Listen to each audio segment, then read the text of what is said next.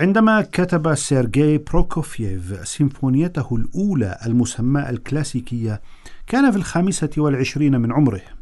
وفي الواقع فقد سبقتها سيمفونيتان ولكنه جعل هذه التي سنستمع إلى جزء منها جعلها الأولى مسقطا ما قبلها. سماها الأولى وسماها الكلاسيكية أيضا لأنه كتبها على نمط سيمفونيات يوزيف هايدن الذي كان قد توفي قبل مئة من السنوات.